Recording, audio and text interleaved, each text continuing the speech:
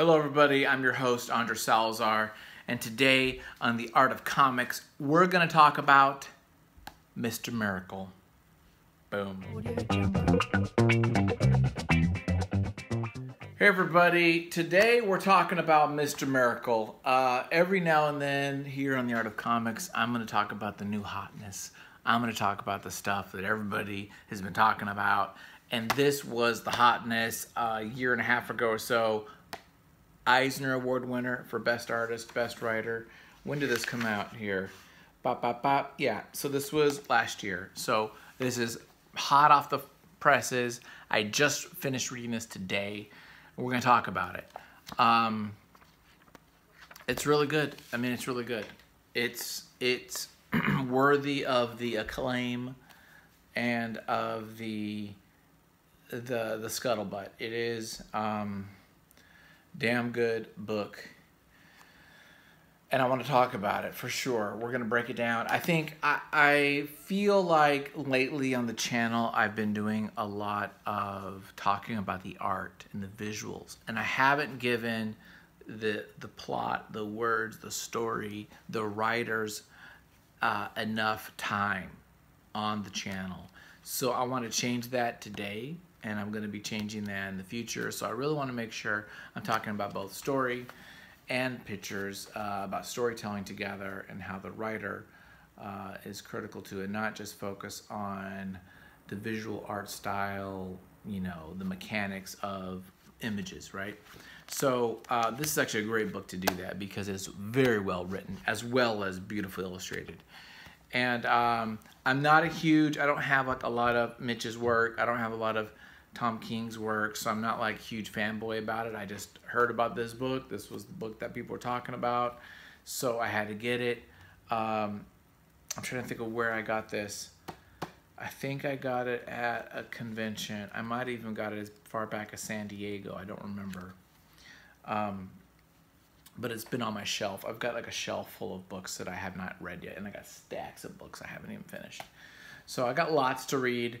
But I was like, you know what? I'm going to take this and read this on the bus this week. And so it's been a pleasure. It's been a delight. So why don't we just go ahead and flip on down the camera and just take a look at DC Comics' Mr. Miracle because it's badass. Let's do it. Okay, everybody, let's dive into Mr. Miracle. And um, there's a lot to unpack here. It is a good book. It is. it's actually really good, and I, have been thinking about it today. And um, um, there's a lot of really great storytelling techniques and things that are happening here that I think are worth mentioning and worth worth discussing. So uh, let's just get in on this, Mama. Um, this is a 12 part miniseries. And so when you're writing something like this, you know, uh, Tom has to come up with not only the over overarching kind of like story of the 12 issues, what's happening, how the characters are changing, all that kind of stuff, but also um, each issue is kind of has its own story, right? So you have to look at it like these 12 stories as self-contained issues and then they all feed into this larger 12 part story. Uh, and he does a brilliant job and i'll go through what i love about it. But um, this first the first part of issue one is a great kind of primer. And mitch uh, uses this kind of older style. It's told with this kind of old like you know um, Saturday morning cartoon or you know newsreel type of dialogue and uh, little kitschiness to it. And it basically kind of goes through and gives us a background. So if you don't know anything about the new gods about Darkseid, you know about Highfather about all that kind of stuff this breaks it down. So this kind of gives us a little just a quick review of you know, Mr. Miracle, Orion brothers switching, you know, where they were grown up. Mr. Miracle went to Apokolips, you know, Orion went to Highfather, you know, to kind of like settle the war, all this kind of stuff. Orion was loved, you know, by Highfather, of course.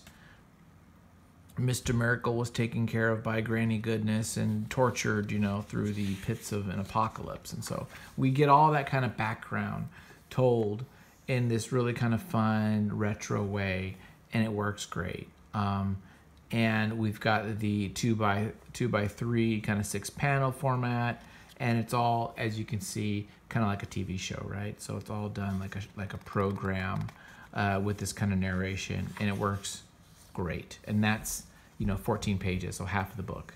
And then we pop into reality. Mitch has got a great style. Um, this stuff is really really well rendered. He he's using he's going to use a lot of filters and screen tones and uh, effects and a lot of Photoshop stuff, but I think it works really cool and um, definitely an artist to look out for and to kind of like learn some tricks and emulate. Mitch is in Phoenix. He lives with Phoenix. Um, I don't think I've. I might have met him at a con. I don't remember to be honest.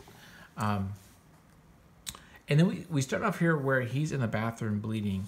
I did not pick up that he was committing suicide. I didn't get that. I just totally didn't get it until later on in the story. I'm like, oh crap, he was trying to kill himself. Mr.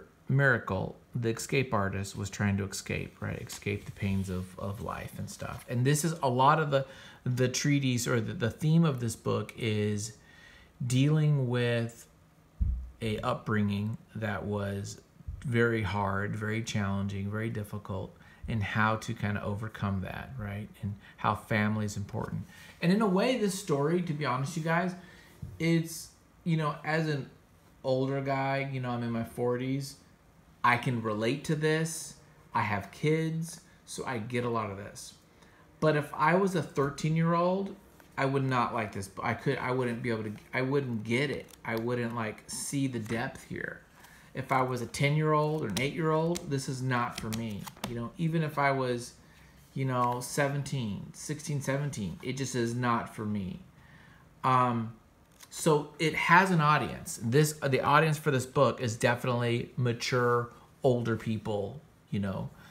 Um, I know we make comics for kids still. It's not like all comics are like this, but it does make me just point out that this isn't just a you know title that you just pick up you know as a kid it's different and um, you know it's got that kind of a mature theme which i think is great for me i love it but also there's a part of me that's like oh man kids wouldn't get this and i hope that we are catering enough in our industry for the future because if all damn books are about this kind of stuff, then there is no future in comics, right?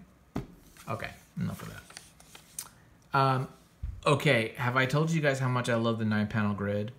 I became a lover of the nine panel grid because of Watchmen and because of Keith Giffen when he worked on Justice League and you know Heckler and Ambush Bug and that kind of stuff. I love the nine panel grid.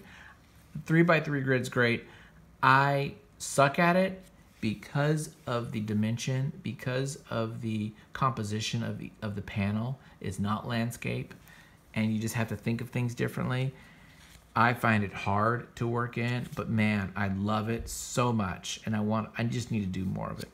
Anyway, we're going right into the story. He's at the hospital. Big Barda is there, um, and just look at some of the art. Just some of the very kind of loose, abstract, you know, work, expression stuff. Some really loose stuff here, but then he'll do a lot of like rendering things here too. Uh, some great filters and tones he's putting in, and you know all this stuff is great. I love the little screen tones here and the textures. Um, it's got a kind of uh, some action to it. It actually reminds me a little bit of uh, Alex Maleev too. So a little bit of that kind of wheelhouse, maybe. Alice Maleev, that school.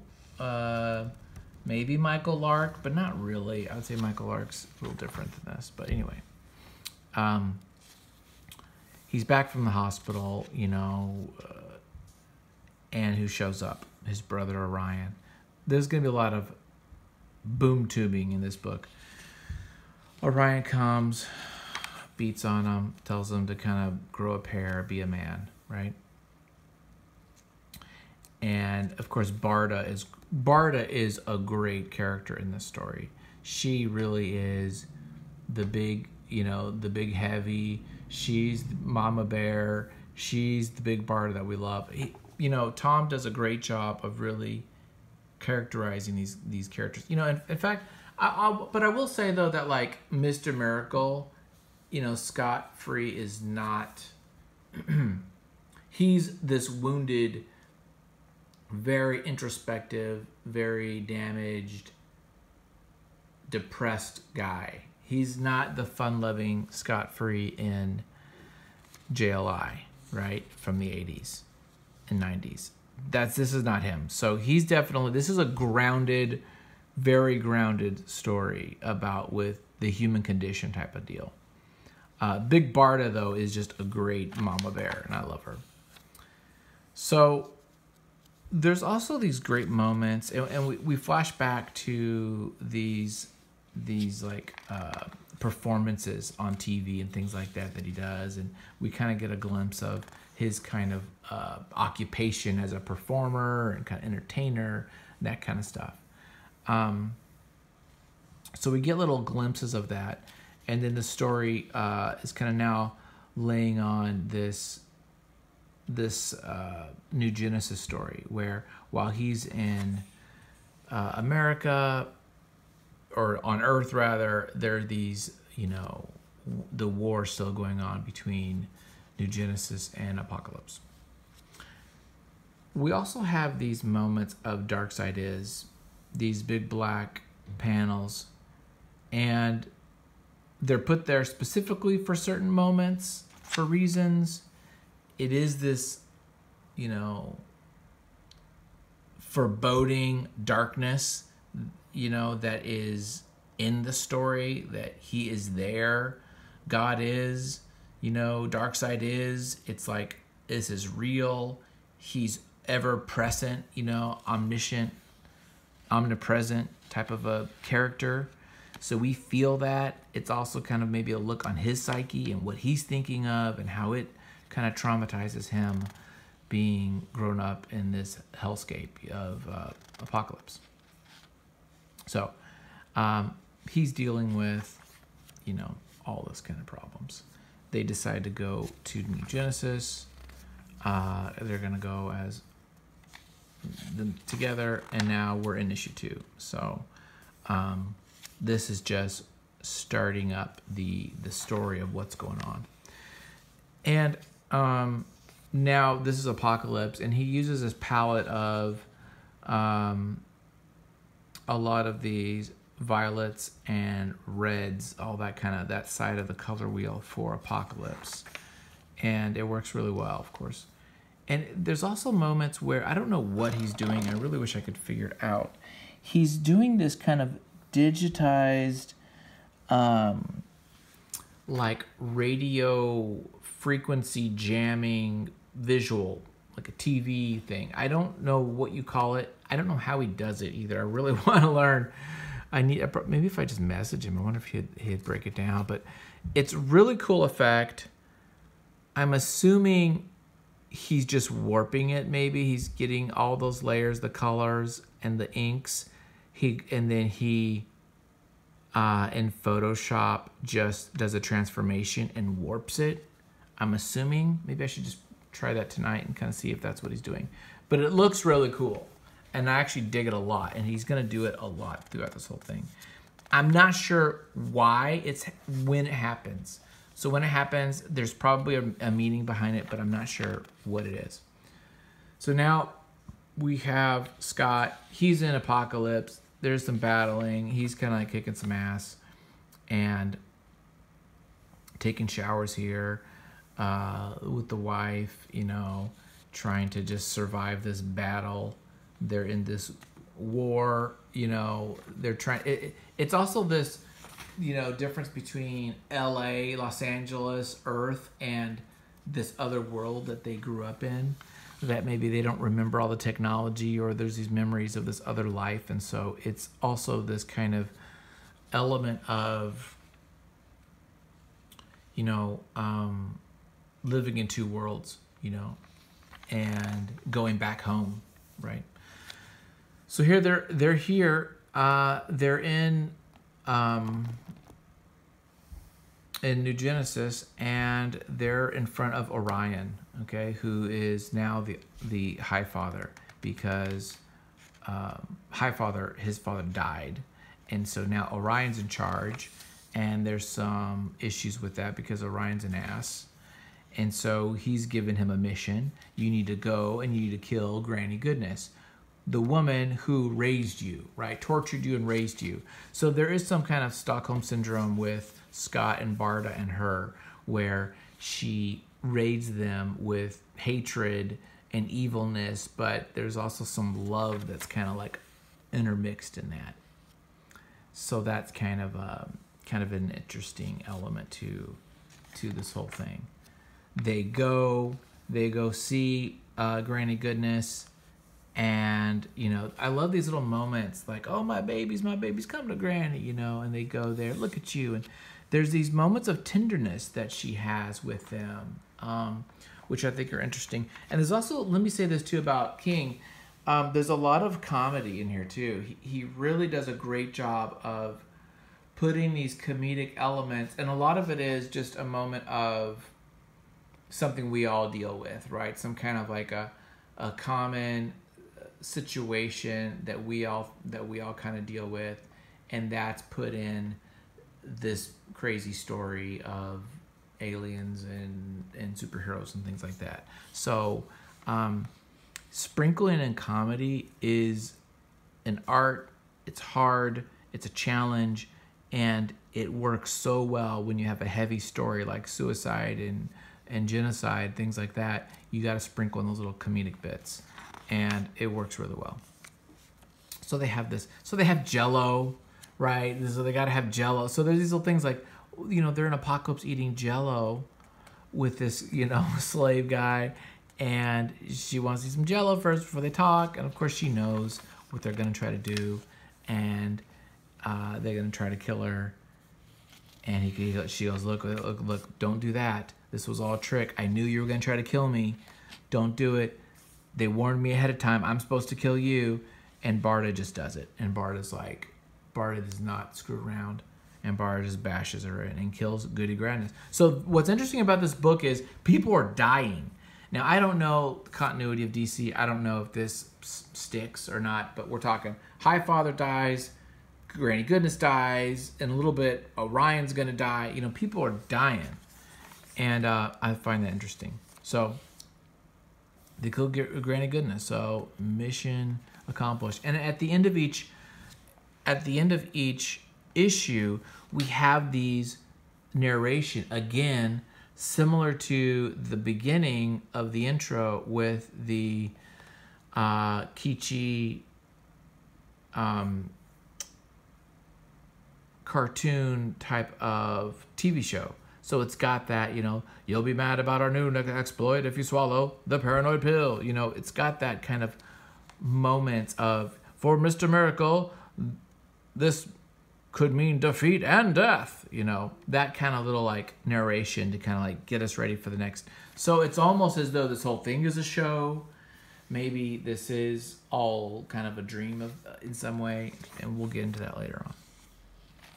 Okay, again, really interesting effects visually uh, that Mitch is using here. Super high, like um, saturated colors, and again, he's using these kind of distortions here, like this is some kind of a transmission, you know, um, which is kind of interesting. Yeah, and it gets really digitized, and he and he goes kind of goes pretty far, doing it, but um we see Orion here, and Granny Goodness is gone. Now they're back here. Uh, we use, he's using all of these blue and cooler tones for nighttime, of course, which is common, and for Earth. He's going to use tones, blues, uh, for night on Earth, and then he'll use some a little bit warmer kind of uh, yellows and kind of off whites and oranges for daytime. And again, great little comedy moments here with him and these other little characters from New Genesis and Apokolips that come to visit him. Because of this boom tube, basically you constantly can have teleportation between these worlds. And so there's these, you know, dimensional you know interactions that happen that that shouldn't you know we got this guy um light something or other i can't remember what his name is um you know he just kills this dude uh, and just yeah, Lightray. It's just oh, it's, it's good, man. It's uh, it's good stuff. So I always like these panels where you just have like this little figure kind of going up and and we have this not every issue but a lot of the issues we have him doing a stunt of some sort and again playing into he's the escape artist right he's trying to escape he was trying to escape reality with the suicide. He's escaping that as part of his job. In fact, right after the job, now they're having lunch here on like Melrose or someplace down in LA. And so it's very modern. It's very kind of like, you know, uh, just kind of a modern uh, take on stuff. You know, somebody wants to get a selfie with them, things like that. So that's kind of fun.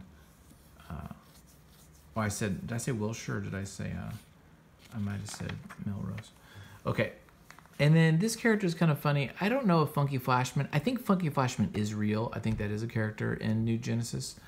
Um, I don't know if that was a a Kirby character or what, but there's like a lot of weird stuff. He is kind of a funny guy. I do like Tom adding some humor with him a lot with, you know, saying a lot of Stan Lee-isms you know, Excelsior, things like that. Kind of a little bit of a Marvel little bits here. That's that's really fun as a comic book reader and and guy who knows some of the history of the story. So, um, you know, we're not we're having these conflict with Orion and Scott, and so again, Scott is getting beat up. He is not showing that he cares really. I don't think he doesn't have the the strength to do what Orion would do, and um, we'll we'll see a little bit about that in, in the future. So the next issue, again, we're back home, uh, and then every now and then, you know, Lightwave or someone will show up, and I love Barda. Barda's a great character. He just slaps them, you know, just just bringing them down a peg, which is. Um, which is the comic relief part of it, right?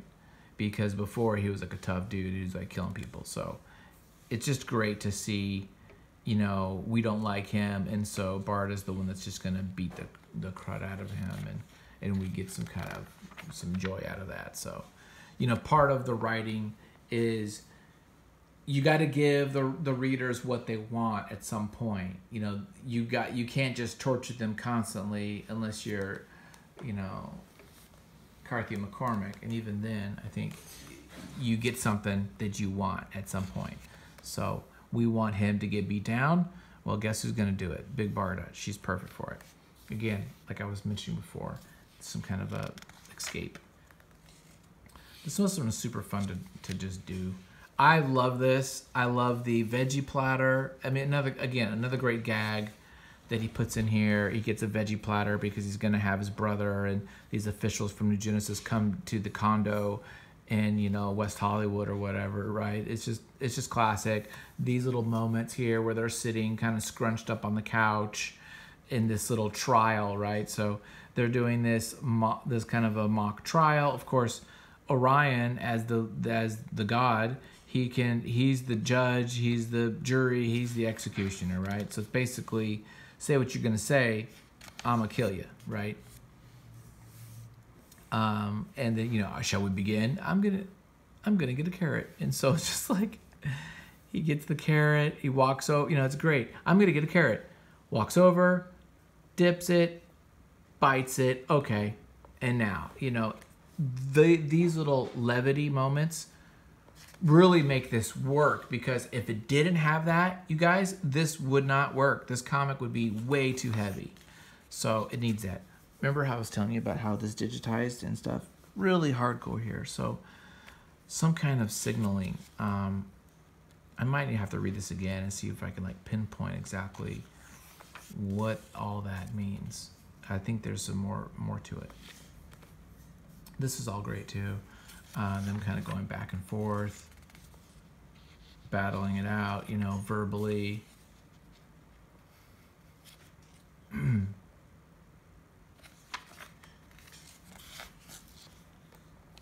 and this would be nice too for Mitch because the drawing assignment for some of these pages would be actually pretty minimal once you do one or two of these panels with a couple modifications you really could just bang out a page really quick and i'm all about that so whenever i see these kind of things i think oh cool. He was able to do maybe two pages that day or something or maybe, maybe even three.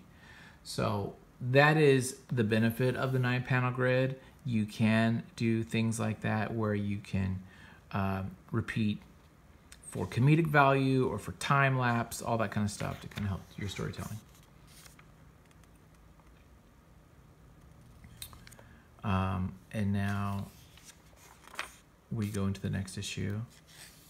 Here they are, you know, doing the uh, the hands on the Grauman's Chinese Theater down in Hollywood. So we do a lot of juxtaposition between modern, you know, current society in America versus the other world. Um,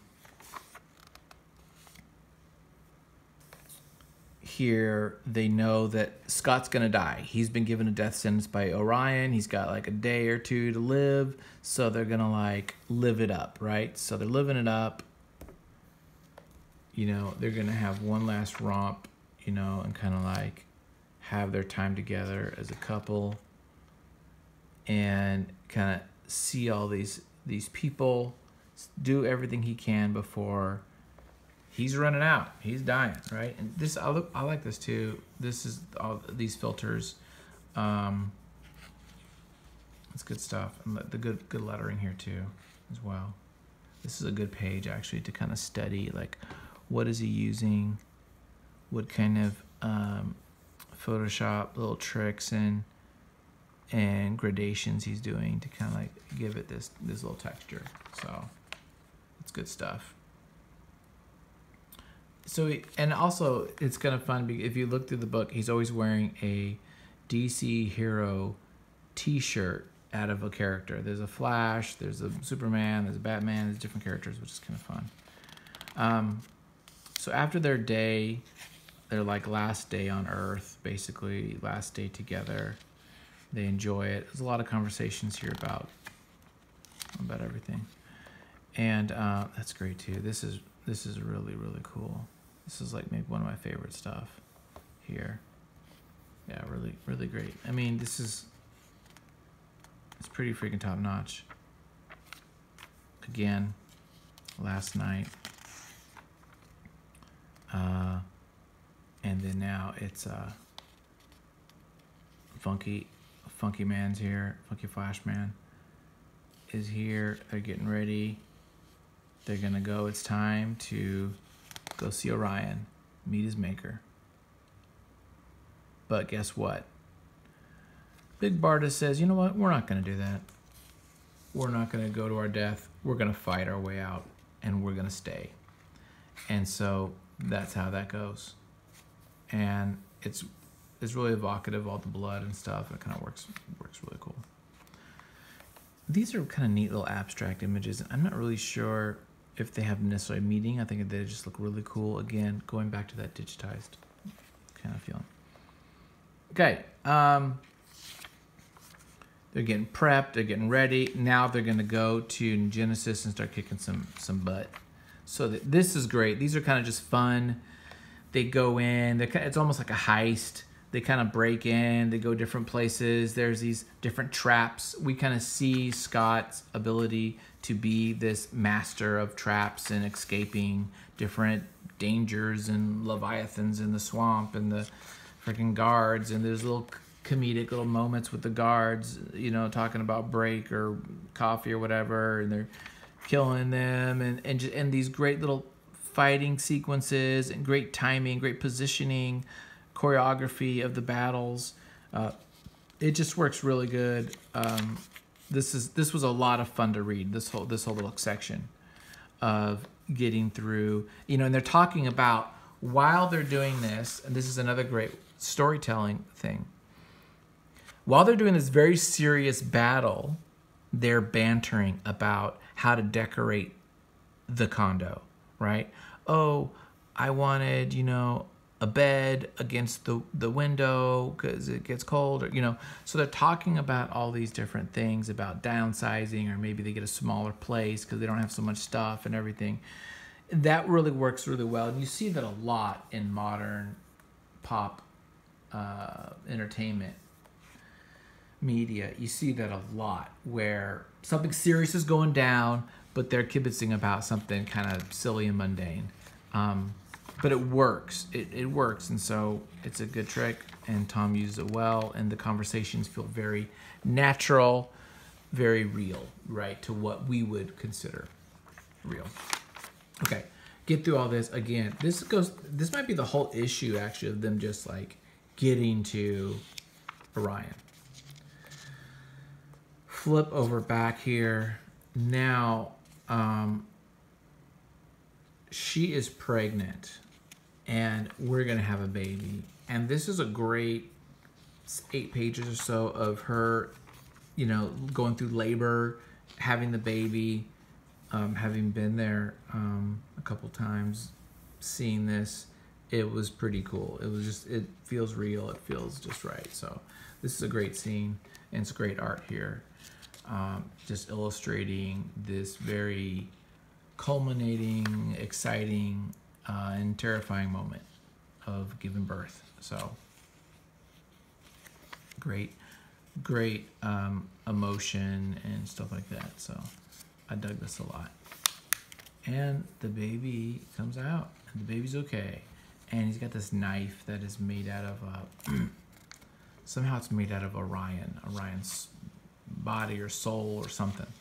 And because of that, because it's made out of a god, it can cut through the baby, or the umbilical cord. And there you go. And then again, we have that kind of commentary, the TV show commentary. Okay, now we're back. Now it's going to be dad life. We're we're now we're doing like modern dad life with the newborn, with the funky you know guy who's the nanny, with war, right? Because now Scott is the Highfather. Now that Highfather's dead, Orion's dead, and now he is the leader of New Genesis. And they're in the middle of a war with New Genesis and Apokolips, right?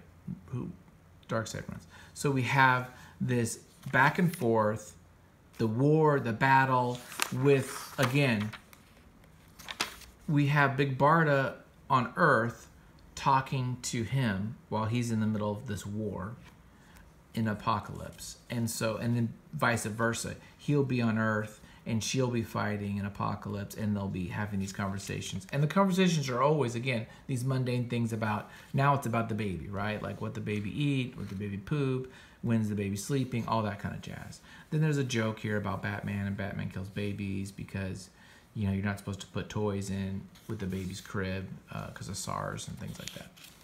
So uh, there's all, so again, we have all these little like just, uh, not juxtaposition, but just um, parallel stories, right? Going back and forth. Uh, works. It works, dude. But see, again, if I was a 10 year old, none of that would work for me. You know, that's just not the audience. That's okay. Comics don't have to be for everybody. But this comic definitely is for um, the older crowd. Interesting moment here where now we have one of these like monster demons, parallax demons, or whatever they're called, you know, but there's like a baby one. And he's like, dude, I got a baby. And there's like a little bit of like conflict there about maybe that deserves to live too, right? It's like, I have a child.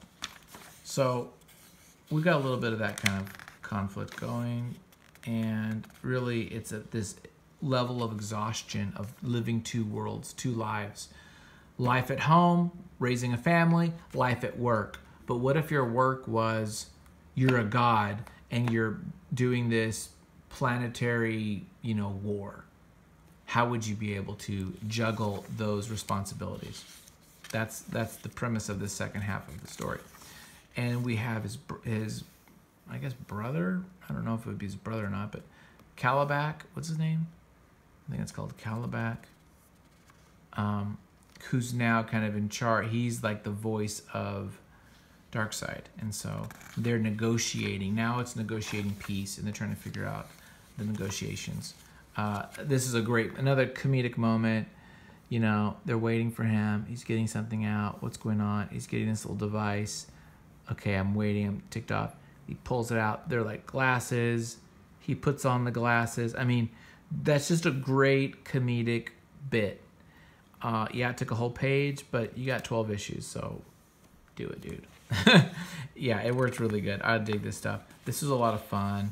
And they're like just talking about the legalism and that kind of elements of of how to negotiate war treaties and, and and release of prisoners and all that kind of stuff. It's pretty fun.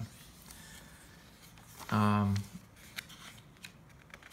he gives them this mirror which kind of shows them their true self or their in, inner world and you really feel for them as you kind of see that inside they're just they've been burned alive and you know it's pretty sad stuff. At least that's the way it is now. Will not always be that way. Um, now it's time to Oh, is this is this where? Uh, yeah, this is interesting. Darkseid. This is all. Darkseid is willing to withdraw all forces immediately, return all prisoners. Further, he would disarm and allow a new Genesis force to inspect Apokolips. Finally, he would surrender the anti-life equation. What? That's you said. That was even on the table. In return for this thing, complete capitulation, Darkseid humbly asks for one thing he asked for the custody of his only grandchild, Jacob Free. Boom. You can end the war, millions won't die, you get the anti life equation, Darkseid can never do anything bad, everybody is, you save um, everything. The cost is your child, the cost is your boy. Your boy's not going to die, he's just going to be raised by the devil in Apokolips in the same manner in which you were raised and you were traumatized and you are the broken man you are because of it. So, if you are willing to let your son go through the hell that you went through and you came out okay, of course, is that worth the price of a war, right? That's now, of course, Barda's like, hell no, but he's got to decide what is he going to do and that's what the last couple issues are about is deciding is it worth it? And i love this little scene with booster and uh, blue beetle. Is it worth it to do that? Barda won't have it. Barda's not even gonna you know humor the discussion. It is off the table. There's no talking about that as an option. But scott has to think about is it worth it? And he even talks to some people like at the grocery store or whatever. Is it worth it to sacrifice your kid in that way. Basically, have your kid raised by people who raised you to save the world. Uh, this is a great little scene. Again, a lot of comedy. You know, the the store clerk at the grocery store trying to get him to get a rewards card, and he talks about saving his his uh, saving the world for the kid, and it's good stuff. A lot of heart to heartfelt discussions here between the two talking about what to do. And he's saying, Hey, I got through it.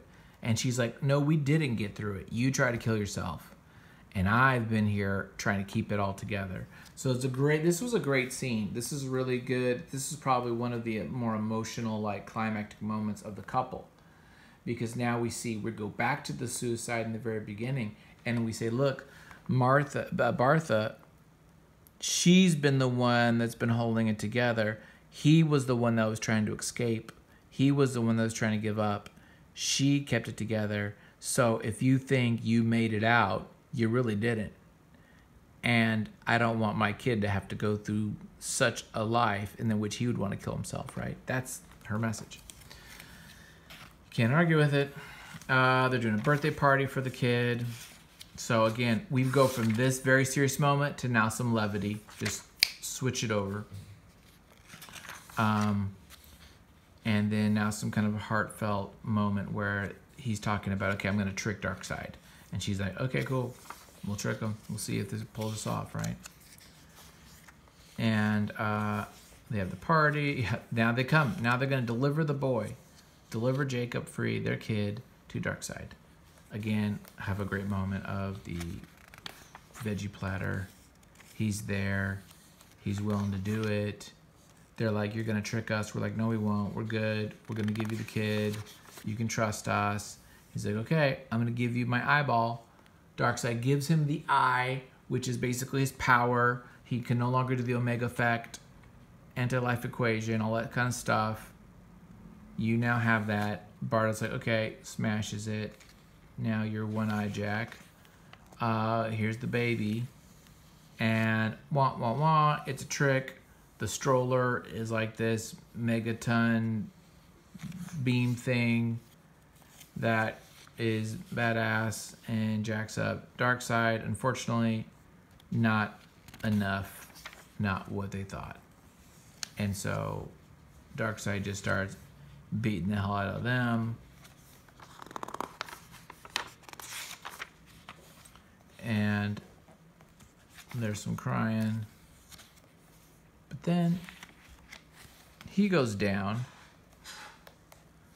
because he had that dagger. Remember that dagger from Orion that he cut the umbilical cord? He had that dagger, which was made from Orion, and there was a prophecy that Orion would be the only one that could kill him. Well, guess what?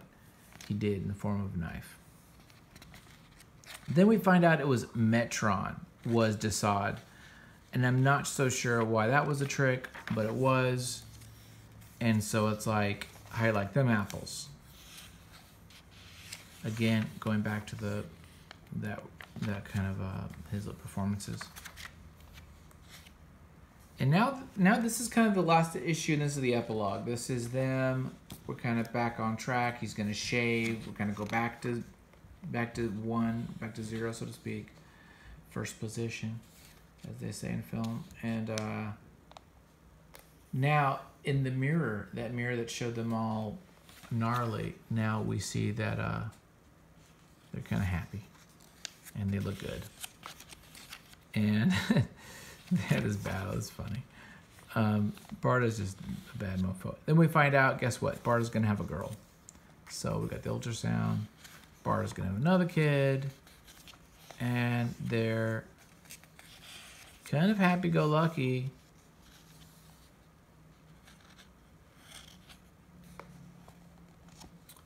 He's had he has these little like visions or memories of Highfather, and he kind of um, relinquishes himself of all that kind of emotion. You know, he's like, screw this, big nose. Um, we see Oberon, you know, the death of Oberon. He kind of like talks a little bit about the, you know, with the in his memory of that. And uh, they're kind of together, and this is this is them. And it's good, man. It's really good. It's I think the art was incredible. I think the story is really good. Each each issue, you know, has this kind of moment and it builds, you know. Uh, I didn't know where it was going. I knew nothing about this. So it was really cool to see where it was going. I didn't know there was going to be kids involved and a family and all that kind of stuff but it really is the human condition from a guy with this like PS, PTSD kind of thing, and uh, I think I think it's really really well done. Definitely mature in theme, you know. That's what I'm talking about in theme, and um, grounded in a lot of a lot of modern sensibility in modern moments which I think is good. I do wonder if it will um, have the longevity because there is a tendency if it's so like modern and and topical or, or up to date that that might be it might date it in some way. I don't know if it will. But i could see it doing that potentially. I could also see maybe if you didn't live in la not that he does but you know there might be some like some feeling of that it's a little too like cool for school or local thing. I don't know. I'm kind of just shoot spitballing on that one, but um, great stuff, great rendering, great color choices. The art is wonderful. I love the nine panel grid. Uh, I love the, the comedy in it, and uh, that's Miracle Man. So if you like this kind of stuff, let me know. Comment below. Let me know what you guys think of this um, this episode and kind of doing really deep dive into. I mean, I went we went through the whole freaking thing, and let me know what you think. Um, subscribe and all that stuff. And if you want to see my stuff, go check out my Patreon. So thanks, guys. Have a good one. Bye.